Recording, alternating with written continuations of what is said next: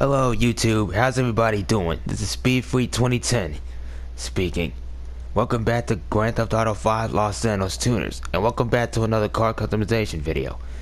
Ladies and gentlemen, in this video, we're going to be customizing the brand new Honest or Annis Euros as part of the Los Santos Tuners DLC. This car will set you back about $1 million on the available Legendary Motorsport. Uh, to get the trade price of 1.35 million, um, you have to rank up every five levels. Um, basically every five levels you get a random trade price of any of the cars from the Los Santos Tuners update. The way I got it was just by signing up for the membership, which costs fifty thousand dollars. Uh, so I don't know what the uh, full price is, unfortunately. Unfortunately. But basically, we're just going to customize this thing and just drive it to my third office garage because, quite frankly, the 10 spots in my auto garage here just isn't going to do these cars justice.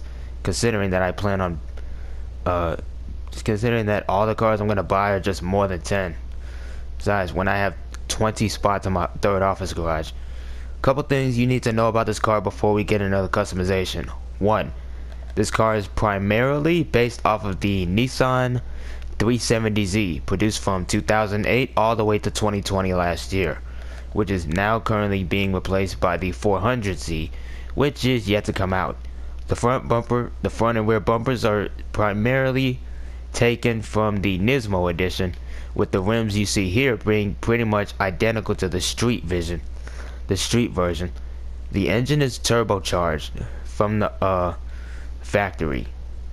And it has the engine notes similar to that of the Coquette slash Jester uh, slash Jester slash Jester RR. Very similar. The as well as the interior from the Coquette, so there's nothing to write home about. This thing is rear wheel drive, and according to Broughy, this thing at the top is currently third, or in the top four in the uh, top five in the tuners uh, tuners class. If you hadn't seen his video, I suggest you watch it. And it has a decent top speed of around 116 miles an hour. But I'm but I've rambled long enough. Let's get into the customization. If you enjoyed what you see, please leave a like and subscribe if if you want to see more. Leave something leave a note in the comments or feel free to follow me on Twitter at Tasmanian94 if remember all the all of what I said above is optional. You don't have to do it. Even if you're not subscribed and just visiting the channel, I hope you found this thing. Hope you found this video enjoyable to watch, and I do hope you enjoyed yourself. With that out of the way, let's get into the customization. I'm SpeedPhreak 2010 signing out, and I hope to see you all in the next video when we customize the next car, the Obey Tailgater S. That's enough out of me. Let's get into this thing.